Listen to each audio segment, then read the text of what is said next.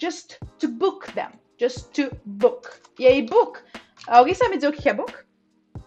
Que não é o significado que. O primeiro significado que vem à cabeça? O book aqui está sendo usado como um verbo.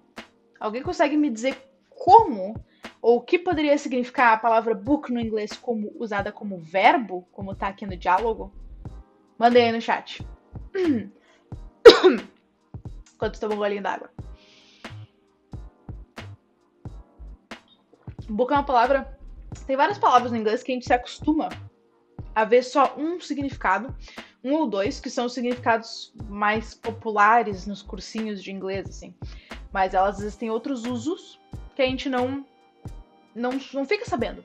A gente fica, tipo, a gente vai ver essas palavras de repente no meio de um texto, no meio de algo, e a gente fica tipo, o book não era livro? E daí a gente fica meio. Que nem aquele meme do John Travolta, tipo. Mas e aí? O que, que, que tá acontecendo? Às vezes não acontece isso, gente, porque book, hum, assim, ó, pouquíssima gente sabe qual que é o significado de book como verbo, né? Book significa arrange for and reserve. É organizar algo ou reservar algo.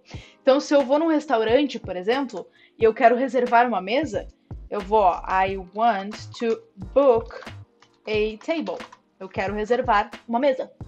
Né? Então, uh, o book também vai ser usado dessa forma. Como substantivo, ele é livro, né? Mas como verbo, ele é arrange for and reserve, né? Reservar uh, alguma coisa, ok?